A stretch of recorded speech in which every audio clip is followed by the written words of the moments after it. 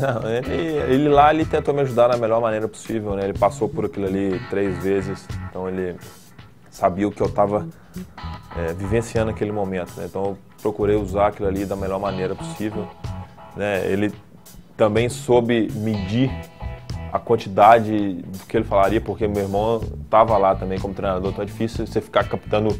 A dele foi mais, não pelo lado técnico, mas mais pelo lado de apoio emocional, de que às vezes um comportamento ali ou uma jogada de repente, mas é, não interferindo no trabalho do meu irmão, né? E aquele momento ali de às vezes olhar para o Google e puxar uma energia foi bom também para ajudar. Então ele, sempre quando ele pode, ele veio. Quando a gente voltou para o Grupo Mundial lá em São José do Rio Preto, se não me engano, ele estava lá.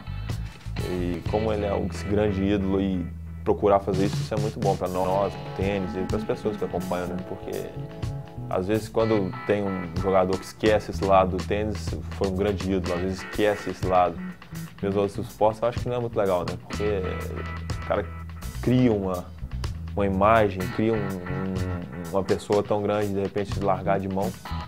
Né? Isso eu acho importante quando parar assim, contribuir de alguma forma para a evolução do tênis.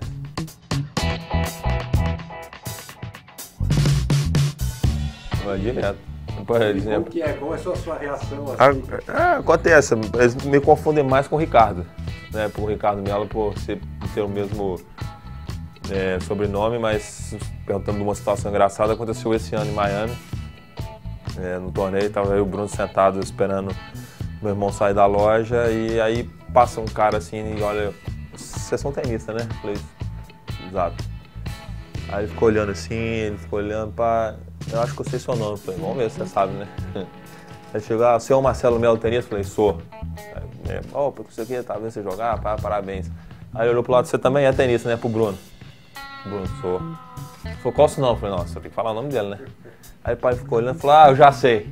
Aí eu falei, quem? André Sá. Falei, puta merda.